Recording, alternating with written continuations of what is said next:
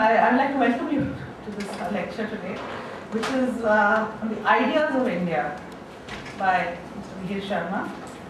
Uh, he is a, he's trained as an economist and political scientist in St. Stephen's College, the Indian Statistical Institute, and Harvard University, and now works as opinion editor of the Business Standard newspaper and lives in New Delhi. I stumbled upon Mihir's work through Professor Ashutosh Varshney last month. He had come here to deliver a lecture and uh, later when he went back he sent me uh, an email saying that you must read what uh, Mihir Sharma has written about my book and four other, four, five other books. And um, this was the book called Battles Half Won, India's Improbable Democracy.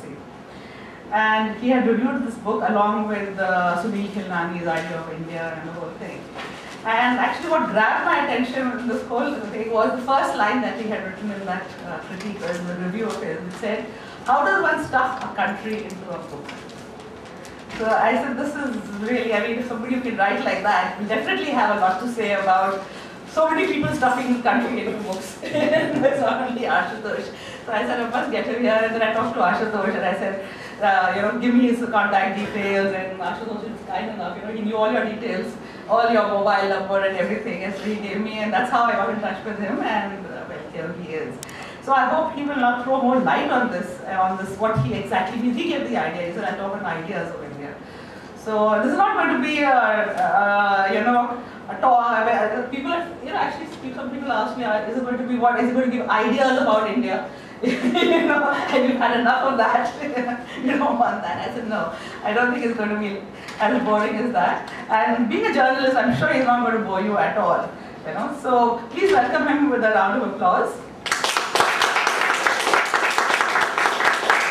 Uh, we are also very happy to have with us Dr. Deepa Narayan, who will chair today's session. Uh, Dr. Narayan is an independent international poverty, gender and development advisor and writer with over 25 years of experience with the working at the UN and NGOs. She served as senior advisor in the Vice President's Office of the Poverty Reduction Group of the World Bank. I could not think of a better person to chair the session on this because she has also worked with uh, Ashutosh Varshney. So I said, I mean, there is some kind of a link somewhere, so I couldn't think of anyone. So kindly welcome Dr. Deepa Narayan delight to be here this morning. I, since uh, Nandini has already introduced uh, me here, I think a great way to start is just to read out the first paragraph of the column that Nandini uh, is speaking about. Um, so how does one stuff a country into a book? Those of us in the book reading trade are frequently called on to address this question. Those in the book writing trade, a far more confident set of individuals, some things we downtrodden reviewers are continually reminded of by author photographs that grow ever more distinguished and glamorous, usually know the answer. Some follow the traditional or Naipaulian route, travel the country, meet a few people at roadside stalls and Tony dinner parties, and deduce grand and important things about the future from what they say. Or, in some cases, what they don't say, or should, in the author's opinion, have said. Others, like Mr. Naipaul's biographer, Patrick French, choose instead to write careful reportage, picking a few incidents, people or places that they think are illustrative problem in this case is, of course, that you can endlessly quibble over a choice of incident, person, or place. Or you could write the big book of ideas on the assumption that, in the end, all countries are ideas anyway. That's the gold standard. Sunil Khilnani's The Idea of India, so very influential in the decades after its release, that it's now used as a term of abuse online for those insufficiently deferential to aggressive Hindu nationalism. Uh, and then he goes on to say, I personally have given up on all these and usually turn to novels. So I'm sure we're in for a fascinating discussion. Over to you, and then I'm going to ask him a few questions because I had a lot when I read this, and then throw it open to discussion. Okay, um, so the way that I thought we would do this is that I would um, chat briefly about what it is that we fight about. Now, you know, it, it, it's very easy for us uh, to look at the many disputes that roil our politics and our country every day and not exactly trying to work out exactly why these are unsolved questions and uh, why it is that we expect the state to change or the Indian government to change in some way and not another. What are the ways in which we want to put pressure on it? What are our various different ideas of India? Where do they clash? What are the unworked out things that still remain to be sorted?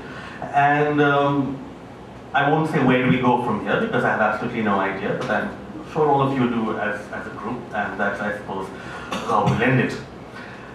Um, so I thought of, I, I, I listed out, um, and I have actually I've, I've, previously thought about this, but I listed, I've listed out seven different big divisions, some of which are obvious, some of which are not so obvious. And each of them has a different effect, in my opinion, on how it is that we want the state to be. So all of us know that we're Indian, but we have different identities that come into conflict with each other, sometimes within one person. And we want our states to reflect these identities, but not everybody shares them. So that's where a source of, uh, that's where a lot of these questions come from. Now, the first two that I was going to talk about, everyone understands, and that's religion and that's geography, and the other is geography. We all know that these have an impact but I'm just going to twist them slightly in a bit. Um, and the remaining five are caste, language, and uh, and uh, two other things that the words will sound odd, but I'll try and explain them a little better. But materialism and age. Okay, so bear with me. We'll get down. Right.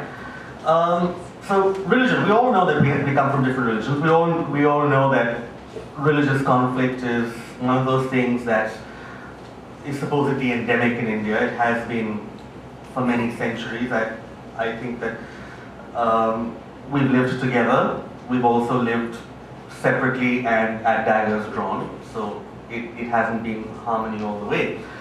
Um,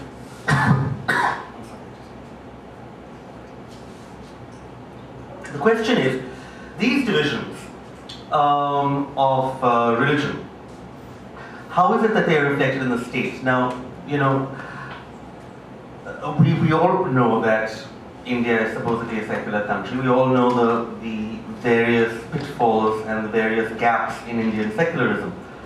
Um, the interesting and important thing about it is that I think that the state has inherited, essentially inherited the British approach to managing religion, which is all we need to do is to basically manage conflict and prevent it between these two homogenous groups or many homogenous groups of people. And I think that's led to, that is precisely what's led to a lot of the trouble. Because first of all, if you have a state that starts with the assumption that everyone in a particular religion thinks the same way, then you're going to start forcing them to think the same way. And the second is that if you're a state that begins to focus on managing conflict between groups of people, you are basically recognizing that the natural state of these two groups of people, or these many groups of people, is conflict, and you start becoming a neutral or a pretend neutral arbiter between them. And that's where the Indian state has run into a lot of problems in the past. You know, you're, you're going to try and work out exactly who owns title to a group, to a particular spot of land in Ayodhya, but not on the basis of property law, on the basis of some other kind of complicated political slash religious uh, uh, methodology. If you read the Supreme Court decision on the Babri Masjid case about three years ago, four years ago, it's very, it's quite extraordinary. Because one third of it is taken up with, with a definition of exactly who a Hindu is.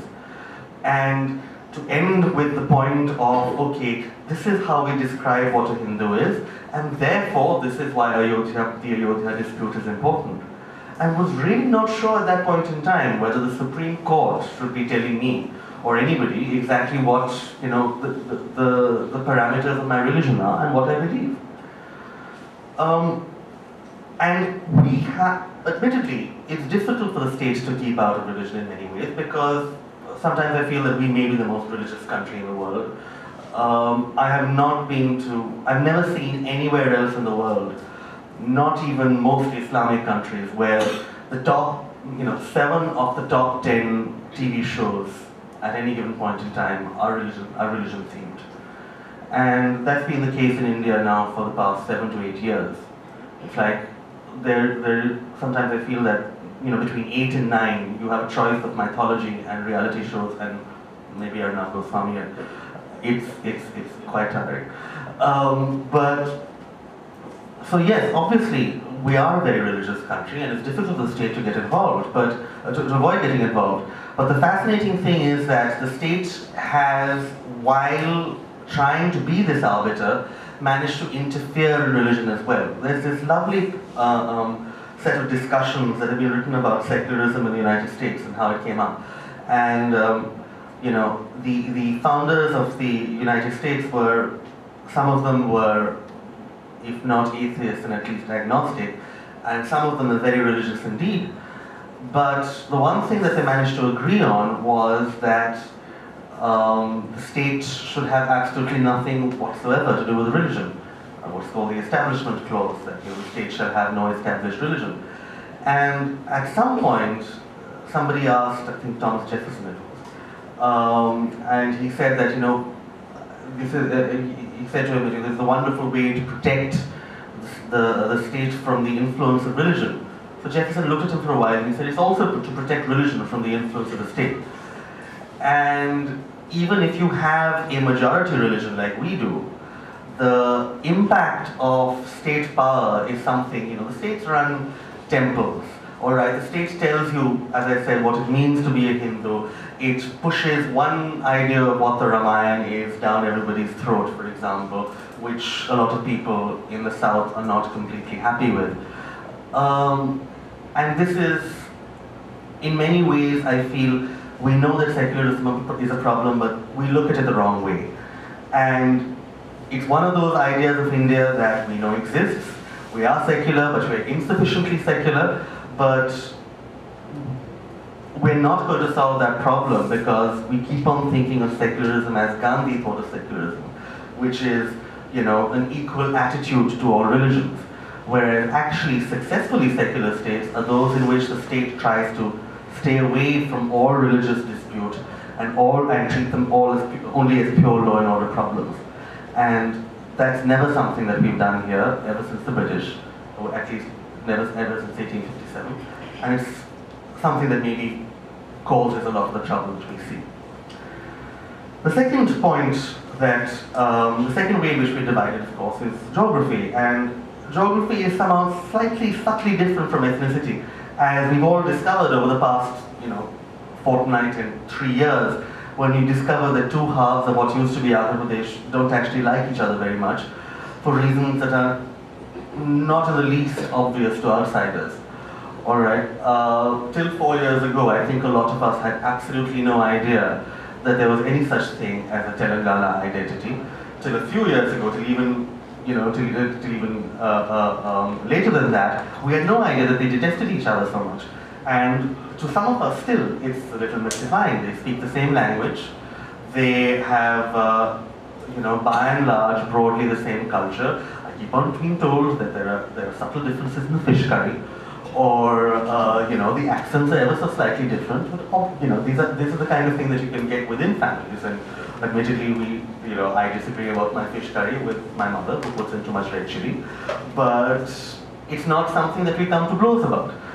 So part of the reason I think is that the, the geography has started playing more of a role in how we start thinking about India is that we're just so much more populous now than we used to be um, you know, there are lots of there are lots of studies that come to various conclusions that can be endlessly questioned about the ideal size of a government, about the ideal size of a state. I don't think there's any such thing, but one broad rule is probably that as a country becomes more densely populated, the ideal size of an administration is smaller geographically. I think that's not, not very difficult to work out. So in the first 15 or 20 years after independence, nobody looked at Uttar Pradesh and said this is clearly an unmanageably large place. But now, even though that you've even though you've taken away Uttarakhand, it's still unmanageably large. I think you know Noida has completely different problems from Banaras, um, and of course, chief ministers of Uttar Pradesh famously don't even visit Noida because they're convinced that um, it is so different from the rest of UP that it immediately, immediately leads them to lose the elections. And I wish I was making this up, but it's completely true. There were four chief ministers in the 1990s of Uttar Pradesh who visited Noida to campaign, and all of them lost the elections that they were standing for. And since then, no chief minister of UP has visited Noida. Um, it's a combination of, uh, of superstition and a genuine lack of interest in something that appears so far from the rest of, of, of the state. So yes, as we grow more populous, the national size of, of, of uh, you know, administrative groups seems to get smaller. But what is interesting here is that it isn't always a region versus region thing. What we've seen in, for example, Telangana, we see sometimes in um, in other places like Bengal, where I grew up, North Bengal versus South Bengal, and the hills, and the hill districts of Darjeeling versus uh, both North and South Bengal. But more often than not, and this is something that we don't always notice, it is region versus center. And in many ways, I mean, the election that we're going into is one that is in many ways going to be fought on precisely this basis. Is it going to be some, uh, uh, uh, uh is our politics a centralizing, Delhi-based national politics? Or is it something that takes place in various states, even in national elections? And um, we are often told, for example, that there are two national parties, the BJP and the Congress. And I grew up, as I said, in Bengal, which is which doesn't have the BJP at all. You know, it gets 4% of the vote maybe 10% in wave years, but it's never won a seat in its history in Bengal. It's never won a municipality. It's never won a ward. Um, so the question really is, I mean, can you be a national party while only being restricted to the north and the west of the country? And furthermore, we think of the BJP as a national party because we believe it has one single identity everywhere it is whatever it is, you know, related to a sort of broad Hindu revivalist, culturally nationalist, an RSS kind of identity. But is that actually true? Everywhere that the BJP has gained success in the past 15 years, it has done so on the back of being a particular kind of state party. So in Karnataka, it became the party of a particular caste group, the Lingayats, right? It organized around Lingayat social organizations. It organized around Lingayat religious organizations. It put Lingayats in positions of power. And as it happens, the Lingayats had always been politically powerful in Karnataka. And the BJP basically allowed for a political mobilization of this politically powerful caste. Similar things have happened in Gujarat, where you know the BJP has essentially developed a social coalition, and in many in some parts of Gujarat poached it from the Congress, which leads it to have in, in within the Gujarat BJP to have entirely regional preoccupations. In as somebody in the Gujarat BJP once told me, the only person in the Gujarat BJP who thinks nationally is Narendra Modi.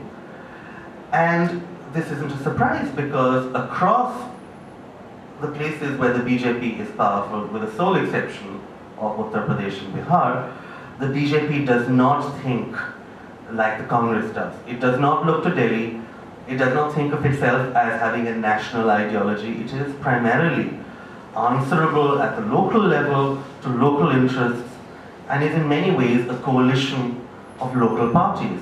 This is why we're always told the difference between the BJP and the Congress is one is a high command party, which is centralized, and this is not only a product of the fact that the Congress is ruled by a particular family, it's a product of the fact that the Congress does not necessarily see individual states as being the location of politics. For the Congress, everything happens in Delhi. For the BJP, things happen at state levels. And of course, that is completely the case with regional parties as well. So one of the basic tensions that we've seen over the past 20 or 25 years is this tension between Delhi and the states. And in many ways, the states have won. The reason I believe that the the last Congress government completely failed at administration was that so many things that it wanted to do, it discovered it couldn't because they were in the powers of the state. You want to fix environmental control, you want, uh, you know, one way or the other, that's, that's by and large to the states. You want to fix how, um, you know, the police are taken care of. That's again a state subject, except in Delhi. And all the very, you know, there's a fascinating um, speech that Manmohan Singh gave in 2004, shortly after he um, became uh, Prime Minister, to a group of, I think, um, IAS officers. And if you go down it, it's like, that's incredible. He's laid out 10 things he wants his government to do, but 8 out of 10 of those don't depend on Delhi at all. And we're accustomed to thinking of Delhi and the Prime Minister and you know, the Parliament in Delhi as being able to solve various things. But actually, we are a much more structurally state-based country than we imagine. And the reason that we haven't noticed this is because we've typically had powerful prime ministers who can call up chief ministers and push them to do their bidding. That doesn't exist anymore. Every single chief minister is a little dictator in their state. And you know, it's not just Narendra Modi who is known, you know, to be able to change his IAS officers at will um, Nitish Kumar is just the same. You know, every single bureaucrat in Patna is terrified of him. Um, Jayalalitha is the classic example of somebody who basically rules a fist with an iron thumb and has giant photographs of her, you know, everywhere. And where I come, again, Calcutta, uh, Mamata Banerjee is, no, in, in none of these states, typically, can you name a single other politician who's not in opposition you can't name another member of the cabinet. And that's because they're all one-man states and one-man, eventually one, one-person parties. Um, there's a friend of mine who um, is working for the Narendra Modi campaign. And I once asked him, you know, what is it like talking to him? So, you know, he talks about lots of different things. And then he paused for a while and he said, you know, the very fascinating thing is that you have never heard him mention another politician. I've heard him talk about bureaucrats he worked in. I've heard him talk about various other things, but he has never said, you know, so-and-so minister got this done. He's never mentioned another politician, and that is the way that state governments operate now. They're one-man things, or one-person things. You come to Delhi and you discover that things don't work like that. And so, which is why we see states are a lot more effective, and there's this strange state versus center thing that keeps on going. Okay, number three, um, language. Now again, I'm not going to talk about the standard approach that we've always thought about for language, which is one Indian, one indigenous language versus another, where, you know, in Goa, obviously, for many, many years, there were battles as to exactly what, what the language of the state should be. And this is something that broadly and one of the things that I find fascinating is that we seem to have worked it out, not just locally, but overall. Uh, nobody, nobody in the South feels as threatened by Hindi as they did in the years immediately after independence. That's in spite of the fact that Hindi is perhaps more broadly spoken in the South and in parts of the South now than it was in 1955.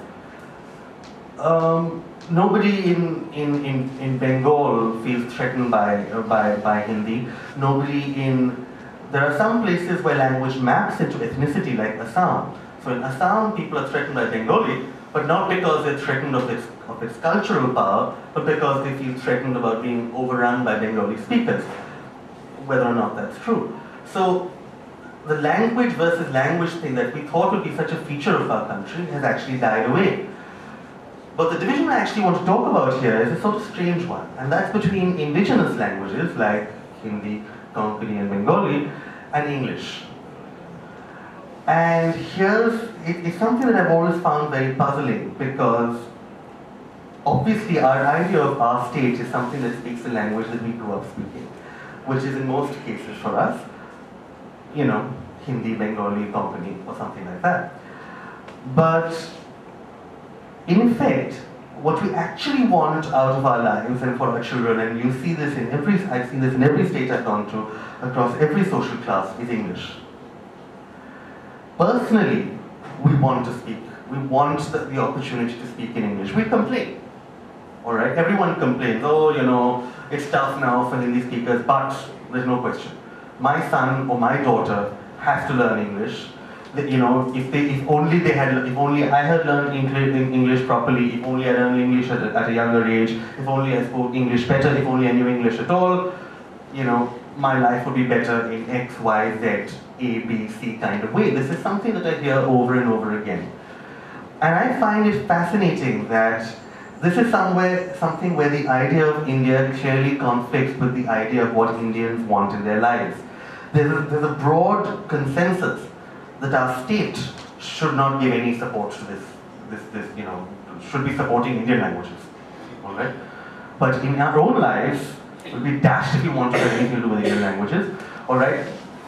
You know, we we want we want to make sure that we speak an international language. The only international language we have we have on board, I think, uh, we, we can access is English. And this is something which I feel a I can't understand why why no political entrepreneur has managed to figure out. Um, you know, across states, people keep on raising the, the age at which English is taught in public schools, thinking it's a popular move, and discovering it's not. And across, you know, even the Aam Aadmi Party, which now we talk about as, you know, the next great hope for a particular, um, for those of us who are disillusioned with, with politics of one way, one kind or another. Even the Aam Aadmi Party um, has picked this up, and um, for example, Yogendra Yadav um, recently in an interview said, there's too much English that's used by the, by the government. We have to cut down on the use of English completely because the Aam Aadmi does not speak English. And the answer to this is, is, of course, yes, the Aam Aadmi may not speak English, but the Aam Aadmi really, really wants to. And I'm going to leave this open. I, I mean, I'd love to hear what, what people think about this, but this is a clear place in which in many ways, I think the idea of India has failed. We solved our problems with fighting over language, but there is this one crucial gap between us and our government, which we haven't been able to close. Right. Um, okay. All right, I'll take number five. Um, I'll just talk briefly about three more things that I feel are very interesting um, and divisions between that, that lead to different and that different impacts on the Indian state. One is, well, I, I, what I've written here is villages, but essentially what I mean is urbanization. Now, we've always been told growing up, the first line of my geography textbook in class 6 was, three-fourths of India lives in villages. All right, and then sure enough, very, very carefully, three-fourths of that book went on to talk about India's villages. Um,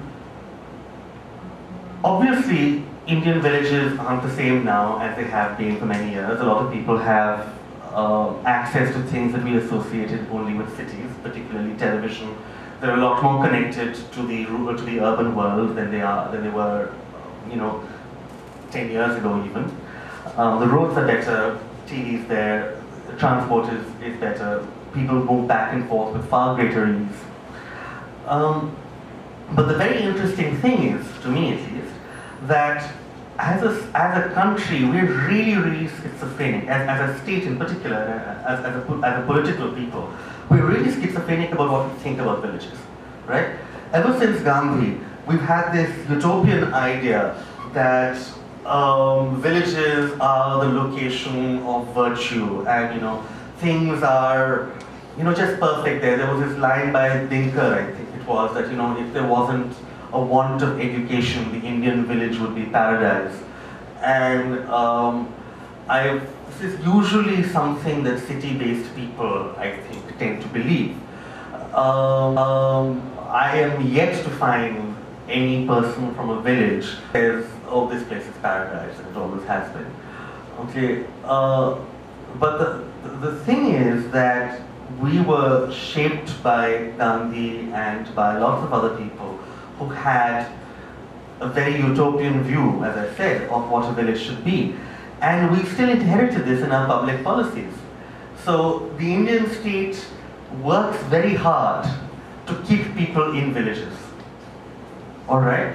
We have the National Rural Employment Guarantee Scheme, which is maybe a good idea, maybe a bad idea, but here's the crucial part about it. It's supposedly it's supposed to give you some basic income um, if you don't, if you you know, if you're starving.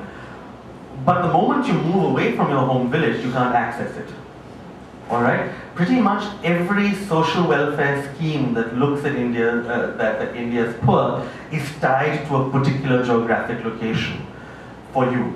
You move, the moment you move away from it, you can't access it anymore. अरे card नहीं मिल रहा sir वापस जाके नरेगा में काम करना पड़ेगा. This is what I mean. And, and, and, and if you tell people who worked on this scheme, some of whom are very smart, they say, yes, but that's the point. We have to allow people to have income in the places where they grew up because they really want to live there. And I am not certain that this is true at all, actually. Um, the other thing is that it, it, it has always been amazing to me that no political party wants to really focus on towns. Alright, no political party will come out and say we are an urban party, or that uh, living in a town is a natural way in which Indian, a natural way in which Indians should live. Alright, the Congress, as I said, is in love with this Gandhian image of what villages are like. So is in many ways the Aam Party, Aadmi Party which wishes to empower every single local panchayat at a, at a, to a massive degree. Um, the BJP believes in an idealized form of hierarchical village life the sole exception to this rule is one party um, which came into power in a, in a large state recently, uh, you know, in the past decade. And the first state, the first speech that the chief minister of that party gave was on the subject of towns. And she said that I am going to pick the 50 largest towns in, in my state and I am going to give them a modern sewer system. I'm going to give, I'm going to build addition, extensions to them and I'm going to encourage people to move to towns. And that was the first time that I'd heard a political leader say this, encourage people to move to towns. And um, the answer perhaps is that it, the, the, the, person who gave this speech was Mayawati of the Bahujan Samaj Party. And I, I think it takes a Dalit party to come out and say that, you know, actually, villages, not cool. They aren't the best place to live they're sort of tough. Everybody knows that your great grandfather, who your great grandfather was, and what they did wrong. And a lot of people like to move and leave that behind. And Mayawati was the first person to tap into that, and I thought that was pretty impressive. And which leads us easily into the one thing that makes us unique, is, which is, uh, in terms of divisions, which is caste. And here the only thing that I'm going to say about caste and the thing that I find fascinating is it makes us unique as a culture, as I said, but it also makes us uniquely blind because this is the only division in the world where I notice one side, within quotes, likes, likes to pretend that the division doesn't exist anymore. Um, so, you know, in the, the average drawing room, if we sit down and say, you know, um, and of course we're divided by divided by caste, and they look at you completely shocked. It's like, how can you, you know, for years I didn't know what caste you were. And I said, yes, the moment you say you don't know what caste you are, everybody knows what caste you are. All right? and uh, it's, we have those of us who were born upper caste, or at least with upper caste names and markings and distinguishing features of one kind or another, I find it very easy to say, you know, it's I don't understand why we're still talking about caste. It's 2013, 2014, man, get a life. Alright? And the answer is that most of us have never been told by anybody, oh, you are X. You are you belong to this caste, and so obviously this is what you're like. Because it's not something that's common in um, our upper, upper caste, urbanized background. But for a lot of other people, that's a daily feature of their lives. And so it isn't at all surprising that it still exists. What is, what is continues to amuse me is that most of us don't even notice. I, um, I, I, live in, in, in South Delhi, and once I, I spent an entire night with a friend of mine, a couple of friends of mine, wandering around this part of South Delhi, which is quite large. It has about 4,000 houses, uh, called Greater Kailash. And I, I, I, we all had, we had this little note, notebook on which we would, um, if, if, if, an, if, if somebody's name allowed us to figure out what caste they were, we would just mark it down. And the amazing thing was that there wasn't a single identifiably lower caste name in all of Greater Kailash. Of the thousands of families that lived there, there wasn't one. And this is the kind of thing that, you know, maybe it doesn't, you know, we don't care. And, but to outsiders, uh, it can get very, you know, the difference can get very sharp. Because remember that caste is not just, uh, you know, as, as the Dravidian movement would say, caste is also about aesthetics, all right? We want fairness, we want a particular kind of northern, sharp-featured look which is traditionally associated with a bunch of um, upper caste communities. And the reason that I bring this up is because caste propagates itself in other ways. Okay, we're not talking about what caste we are, but we can look at most people and when you think, oh yeah, yeah, he looks like people like us, it means that they look recognizably upper caste in a particular way, in an aesthetic kind of way. We look at someone and say, oh, they, you know, they're educated. I've always loved the words. A lot of people who are barely educated are also talked about as educated. They're from a cultured family. All these little phrases that we, have, we, we hear over and over again mean essentially and effectively the same thing. And the, the, the, the simple fact here is that I don't see any solution to the problem of working out how the government should deal with this big division, or the state should deal with this, this big division between upper and lower castes in our country, while one side has essentially said, oh, the problem doesn't exist.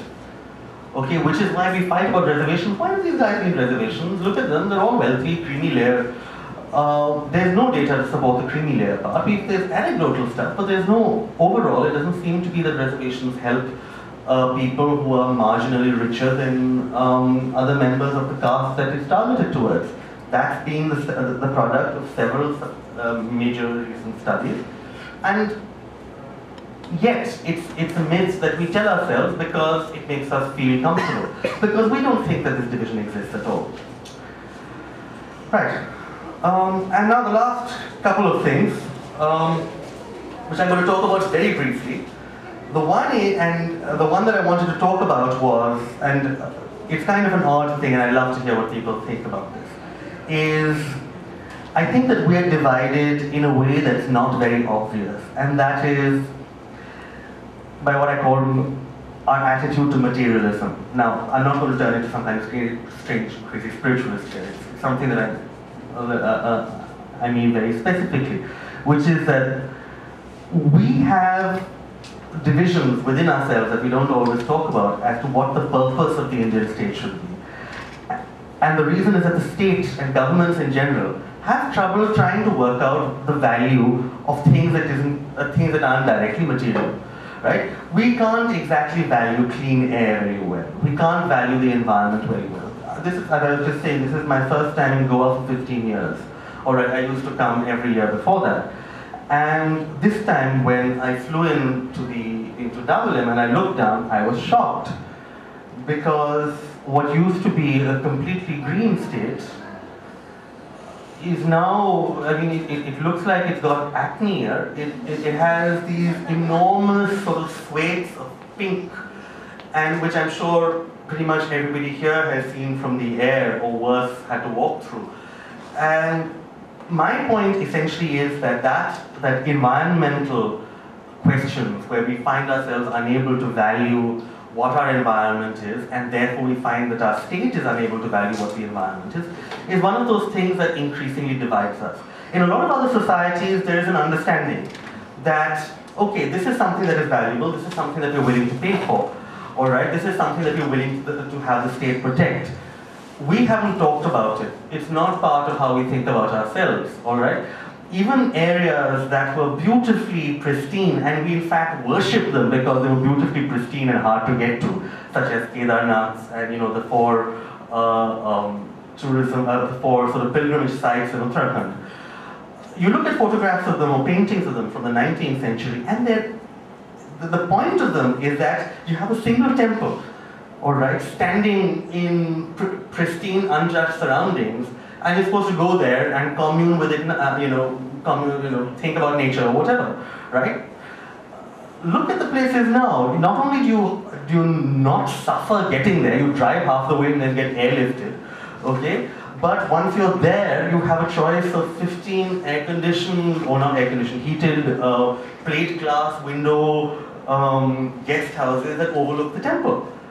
And the entire valley was turned into a something indistinguishable from the rather ugly margins of our cities.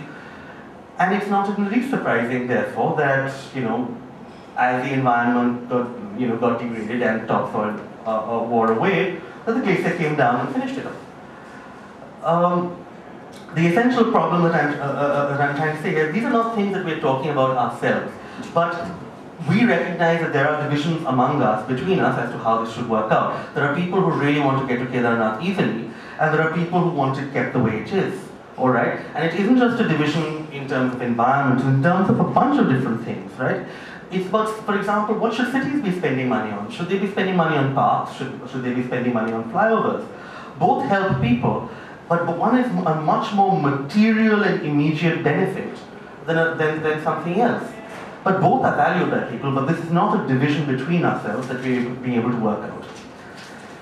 And the final thing that I wanted to talk about, which I feel is a difference in how we view each other and how we view India, and that affects how the state is, is age. And I don't mean the age, the age of um, you know individual people.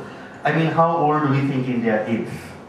And if you ask most people, um, it's well, well, we're a five thousand year old civilization, all right.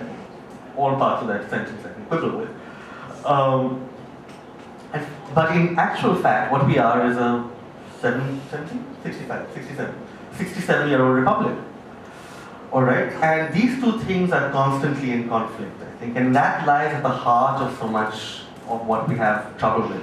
When we're trying to solve a new problem that crops up, such as, for example, the environmental degradation, what are the principles that we go to? Are the, are they the principles of the 67 year old republic, such as we imagine they are?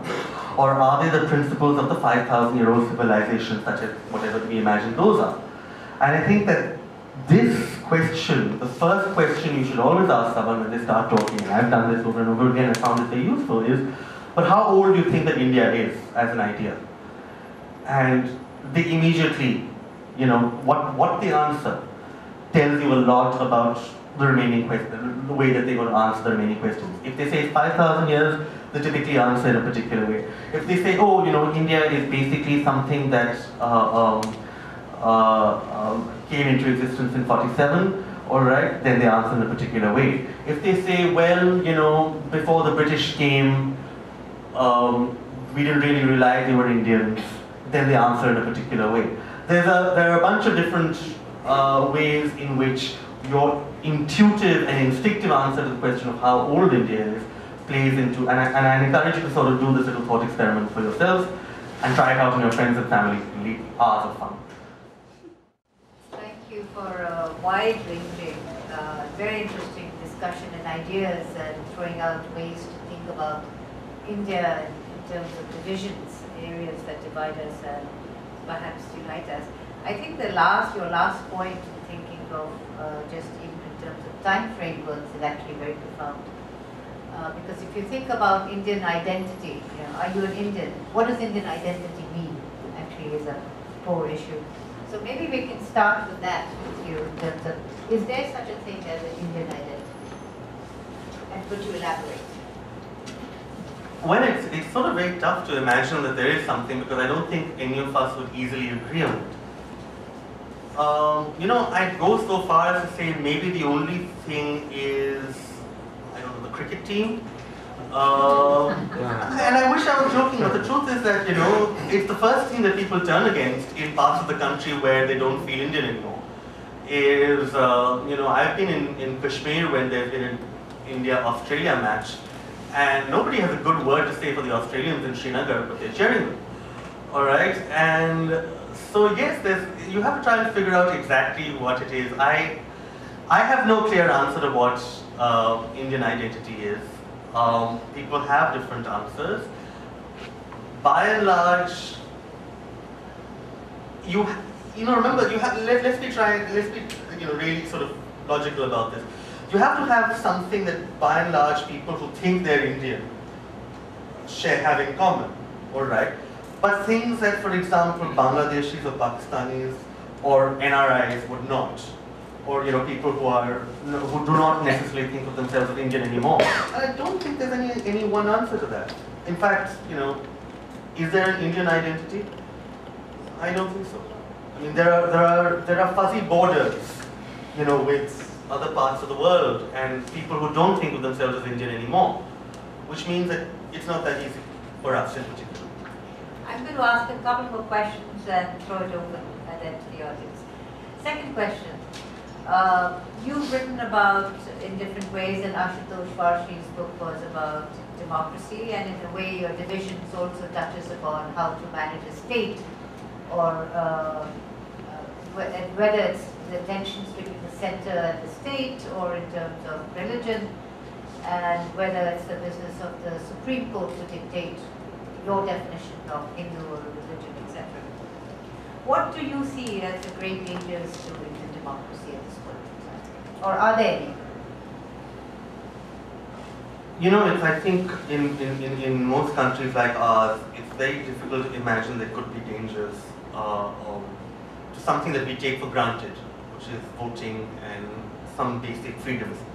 Uh, but whenever I tell, whenever I think of this, which I think is an easy, I always remind myself of the emergency.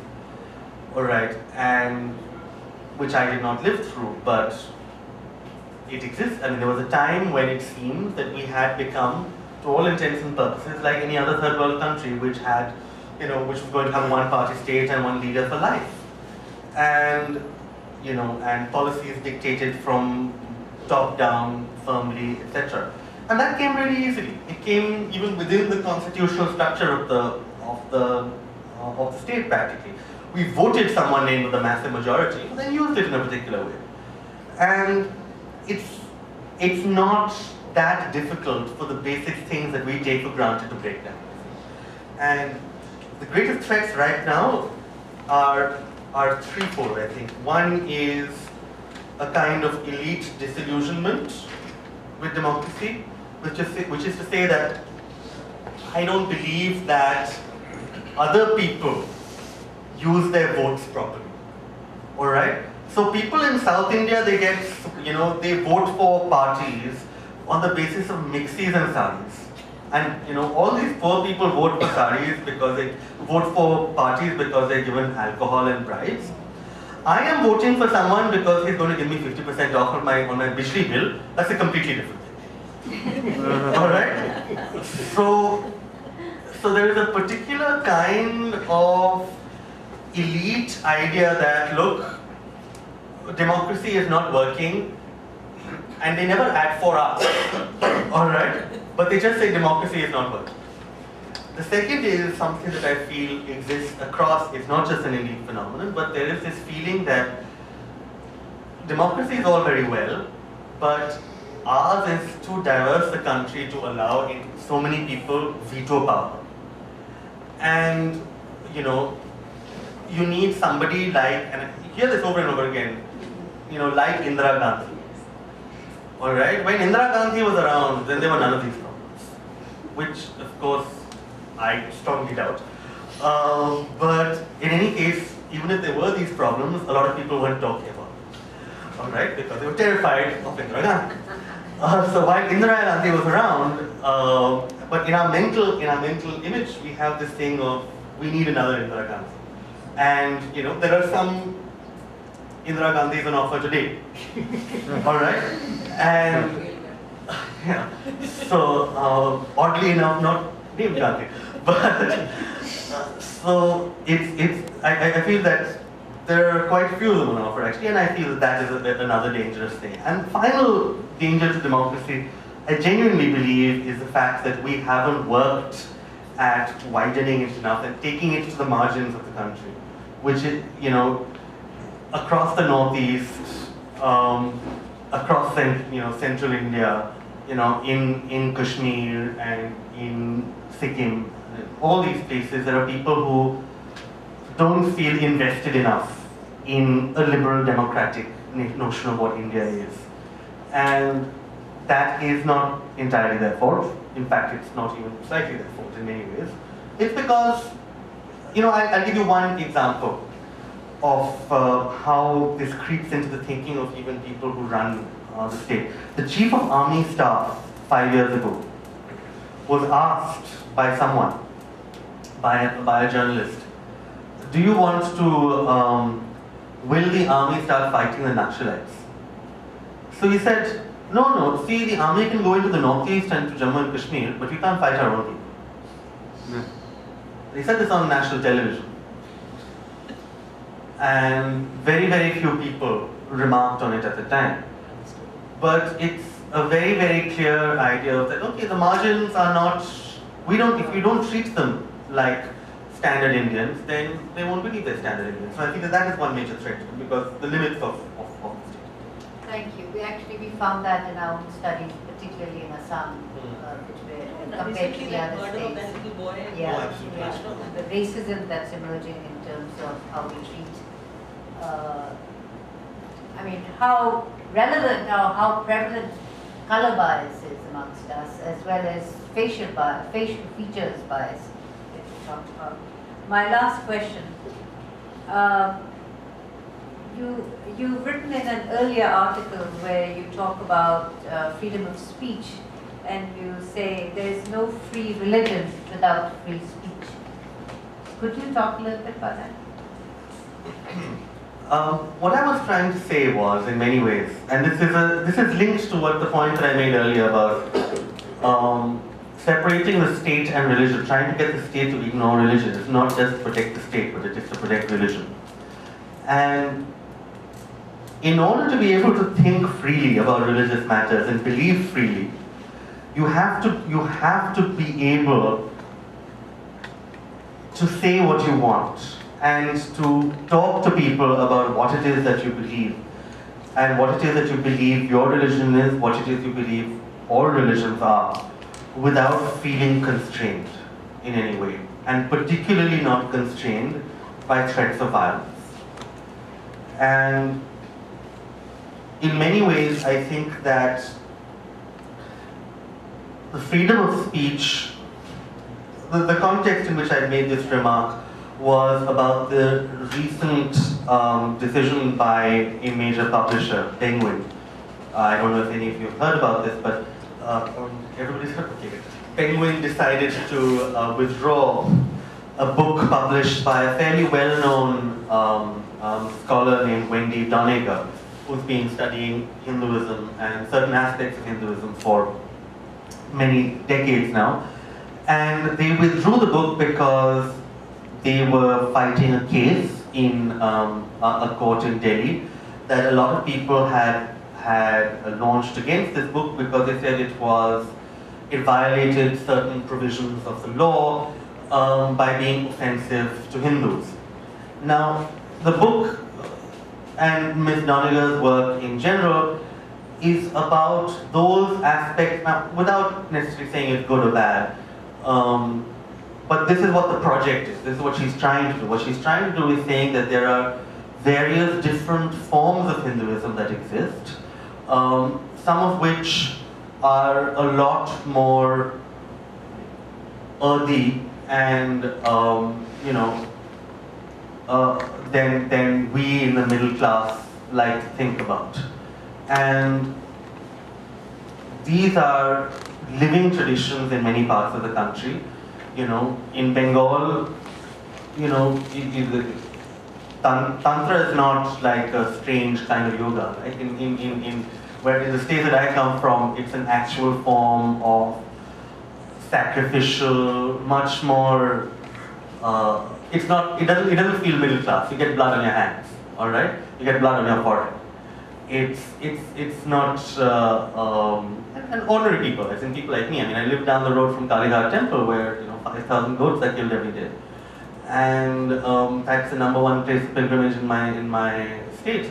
Um, you know, all of us have at times of various pujas have um, put blood all over ourselves. It's it's the way that the religion exists in my state, and it's it it it makes a lot of other people who are call themselves Hindus deeply uncomfortable.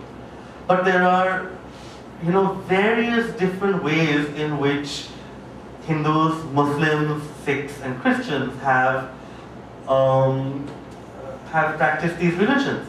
But if suddenly you, you are not allowed to say that this is the kind of way in which some people practice their religion, this is, this is also what it means to be religious, or this is also what it means to be Hindu, if you're not allowed to say this, where is the freedom of religion of the people who practice religion? I think that's, just to follow up on that, I think your suggestion of uh, uh, organizing, perhaps you didn't say that.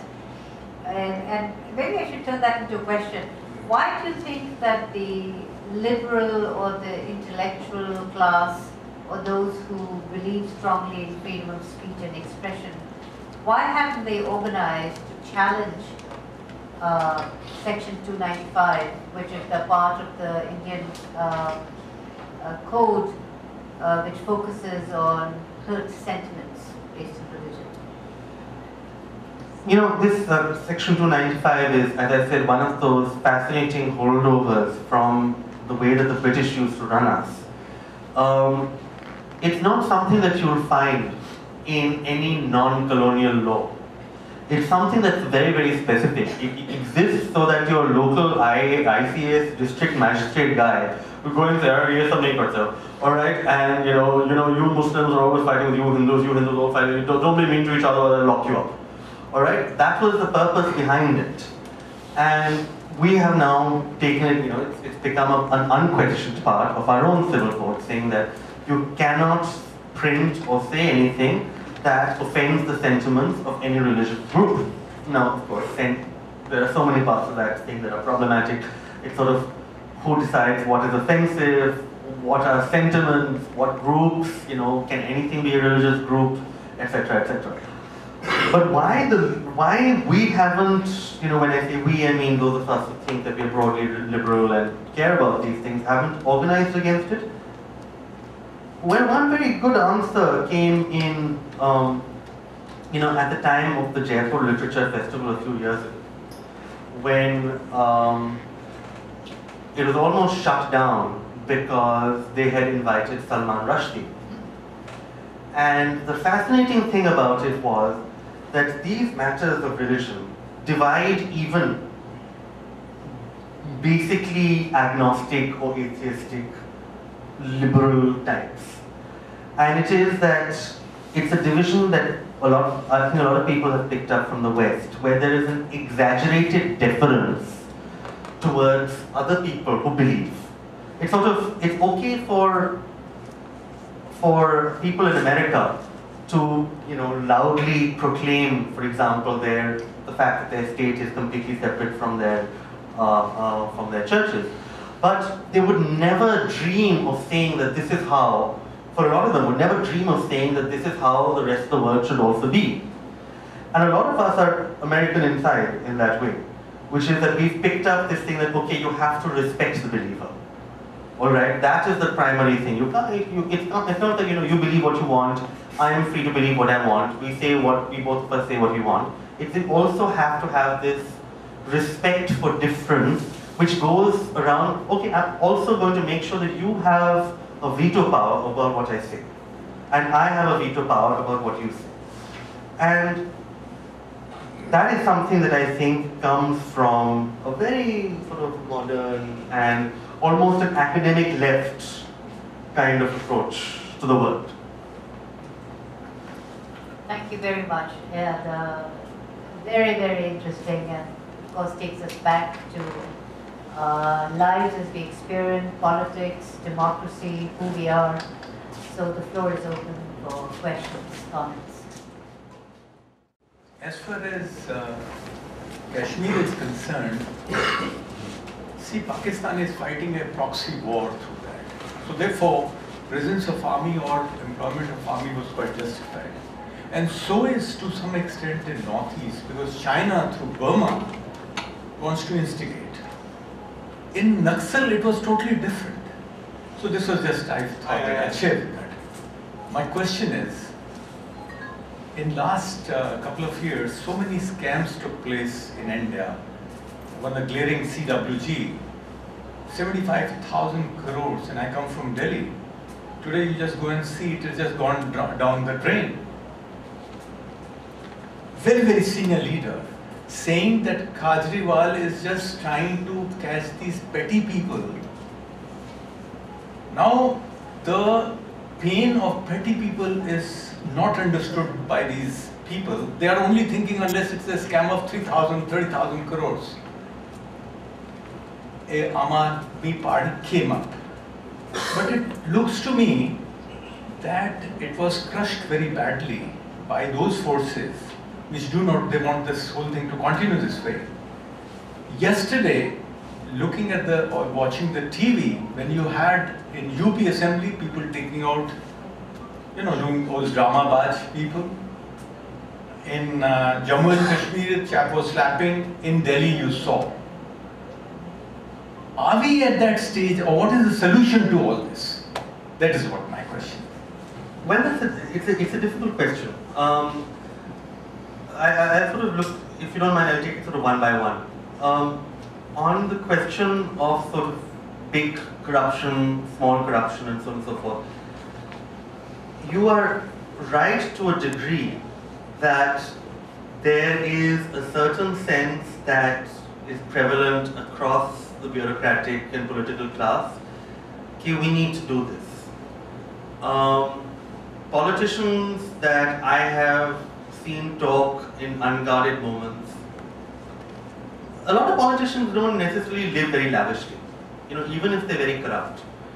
Um, our political system is such that you know I was at a I was at a I was at a, a lunch uh, uh, the other day, uh, three days ago, two days ago at the time of Telangana vote being thrown by by an MP from Andhra Pradesh, and everyone was talking about um, about what's going to happen in Andhra Pradesh and Telangana and so on and so forth. And one of them said that, you know, actually the Congress is in real trouble. Not just because of this in Andhra Pradesh, but also because, you know, this chief minister that um, Sonia Gandhi is put in there, he's not earning anything himself.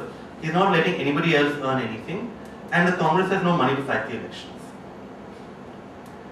And there was this sense of, you know, like, you, you, you picked up that these are guys who are not necessarily, you know, corrupt themselves, all right? They, one of them had come there in a, in a, in a, in a Kali Pili taxi, all right? But it was like, this is what I do, this is my life. I, I have to, you know, get from, from real estate, I get a large amount of money, which then I use to plow back into my business, all right, to, to win my next set of elections because there is no other source of funding in politics.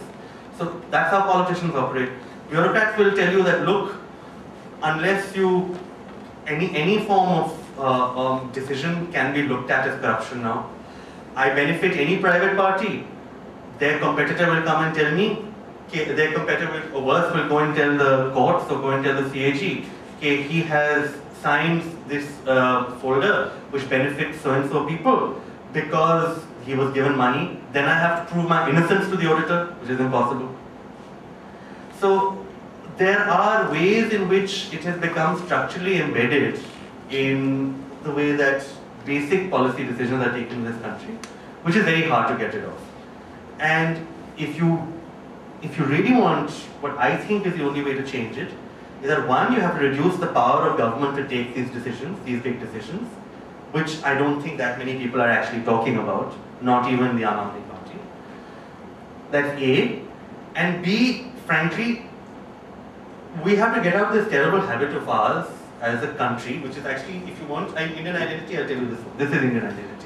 The is, you know, I am very good, everybody else is bad, what can I do? Alright? Uh, so, this is, I think, the basic. You know, my neighbor voted for the Aam Aadmi Party because he was fed up. In, I live in, in, in, in Delhi, in Defense Colony, because he was fed up with all these corrupt people, you know, as far as I have to pay bribe for this, I have to pay bribe for this, and I sat there and nodded. Yesterday I was told that he had, he, that, sorry, last week I was told that in that brief period that Mr. Kejriwal was in power and told us we'd have free power up to a certain amount, um, no, sorry, free water up to a certain amount, that he had arranged for extra connections to his house. So he arranged for three Bijli meters and um, one other Pani ka connection that was supposed to be for the local park had been diverted to his uh, to his house, and he said, "I will take care of the park water." so all I'm saying is that this is this is how we are as people. You know, we tend to uh, say, "Acha, you know, there's nothing much we can do." So I feel there's a, there's a social change that comes before this kind of political change happens. My name is Lakshman Badhanani. I'm a, a retiree from London. Uh, sir, uh, Mr. Sharma, do you think you might be in danger of missing a trick uh, when you uh, declared or demonstrated an implied bias in favor of urbanization as opposed to uh, the development of villages? I mean, if you listen to, this, I listened to Madhav Gadgil only a couple of, couple of weeks ago, and I've listened to various other economists who feel that really India should try, uh, stop copying the West and go for its own solutions, you see. And do you not think that people like yourself who were perhaps more under the Harvard influence, uh, and people like me under the English influence, think more of industrialization? Because urbanization in India has brought a lot of evils, which we must not forget. And whilst uh, village life may not be idyllic, and I'm sure it's not idyllic, uh, there are compensations which I would suggest to you perhaps are greater than the advantages that might accrue. My second question follows from the first, and that is, um, you're absolutely right. I mean, I echo entirely your sentiment about the way we have prostituted our environment. We really have. And it is not only at the macro level, it's also at the micro level. When, when I say macro level, you know, your example of Uttarakhand, Uttarakhand and the hotels coming up there, you know, I mean, it, it, it's, it's ghastly. But even at the micro level, um, you look at it here in Goa, you know, you, you, you, buy, a, you buy a flat and uh, you have a view of the sea and the next thing that happens to you is the chap in front of you, which is a vacant plot, built not only a house, but he's built a damn building which is about seven stories high and blocked everybody's view. There's also the micro level. See that we as Indians have absolutely no respect for the environment. And when you start removing people like Jairam Ramesh and you pick, removing people like uh, um, uh, Natarajan, you know, uh, people who care a bit about the environment, you're going to get this. You're going to get this at the local level. See, India, in, in, in that sense, we have lost our soul as far as the environment is concerned. Would you have any comments on that? Uh, when you have talked about uh, moving into urban areas, I also have, I want to disagree with you on that. Because why not turn the rural area, you know this uh, um, uh, former Abdul um, he had this project called Pura, you know, providing urban uh, necessities to rural areas, urbanizing uh, rural areas. So why not urbanize rural areas? As it is, there's so much of pressure on the cities, you know. We have, nobody talks about reverse migration. And when I say reverse migration is when you turn rural areas, you give all amenities, urban amenities to rural areas. What about that? I actually also had the same, same question, but let's go to, yes, please, in the back.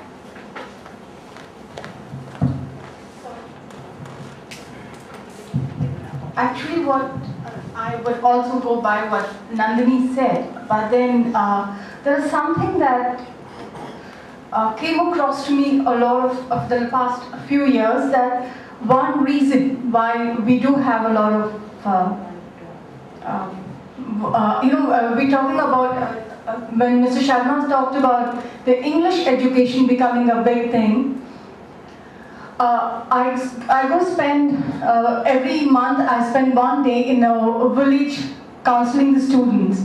Now, the thought process works like this I need to get a job. I need to get a job. Now, this village I'm talking about is a couple of kilometers inside Mangalore.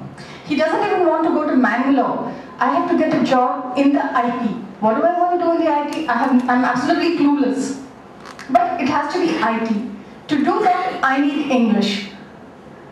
So that was one thing. And another thing they feel is that Hindi is necessary because Hindi is a language of power.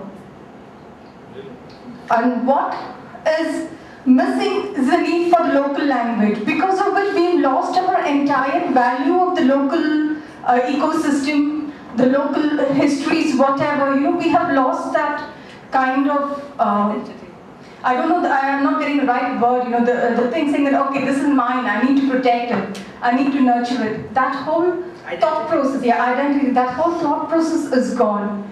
So the last couple of times we tried, like, of course, we, we are not into um, building up towns, but we did try to look at telling the students, why don't you look at local entrepreneurship? They have come up with some things. So out of the batch of the 12th standard, where we had 40% students going out, this time we've had 30% students going out. Even that 10 was a savior, but maybe that's what we need to look at. I don't know. It's just a Thank, thank you very much. Anybody else? Please. We'll take two more then. Uh, talking about uh, the religion and the state, see, we have ourselves put a stamp for its differences by making different laws for different religions, like our Hindu Act, Muslim Act, Indian Personal Law for different things. And the directive principle themselves say, Dr. Ambedkar, that we should try to have one unified civil code for the uh, full country. Now, only in Goa, if many people don't know, uh, we have one civil code. Family laws, divorce laws, marriage laws, hereditary laws, all come under one code. And Goa, I feel, is the only place throughout India where we have the least problems between Hindus, Muslims, and Catholics. They live all together. They'll be in the club, Hindu, Muslim, Catholic together. The rest of India was burning with communal problem. There was not even one slap in Goa against one another. I feel this is the thing which should be projected to whole of India. It has worked so beautifully in Goa Unified Civil Code. It's there in the directive principles also. In fact, when once when uh, uh, Chief Justice Chandrachud had come to inaugurate the High Court, he commented that what is envisaged in the Constitution of India, Goa has fulfilled it. Thank you. There is no chance for correction of this wrong definition. Well, if most people start thinking like us, sir, tell everyone. Thank you very much. Oh, there's one last question, lady there, that will start. Um, corruption. Could you introduce the is, is being branded. Melsa Vaz Montero. I'm uh, at present part of the Council for Social Justice and Peace. Um, what I'm saying is corruption is being kicked around like a ball on a football ground. Basically, corruption is in the mind and heart of every human person.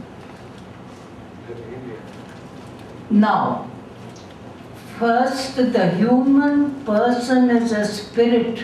Spirituality is the basis of the life, whatever your religion religion, when you grow up and reason out, is if you follow the tenets of your religion, they are all based on common spirituality. I would like any person, even an agnostic, to tell me that there is no West, there is no thing as the spirit. And if there is a spirit in every human being, that person is, the foundation of that person is spirituality. Now, whether we are professionals or we are laborers, whatever we are, and let me tell you at the basic level in Goa, a laborer has more spirituality to tell, to teach me in daily life than all of us who go around preaching spirituality and religion. Thank you. Now the question is, in uh, India, or even in Goa alone, how and who makes all of us realize that this is the basis of our life? Thank you. I'm afraid I, I don't really have an answer to that. It's a tough question. Thank you, thank you again very much, and thank you to the audience for your wonderful questions, your comments, very diverse, and uh, a lot of food for thought. And thank you, Mihir, for coming and sharing your thoughts. Continue writing provocative columns. they do get read, and they do make a difference. And uh, thank you, Nandini, for hosting and bringing in here. Thank you, Deepa, for coming so graciously. Thank you. Thank you. Thank you. Thanks, And- everyone. And it's a small token of. Oh, thank you. This is actually kind. Thank you so much. That's, that's great fun. Thank you all. It's been great fun.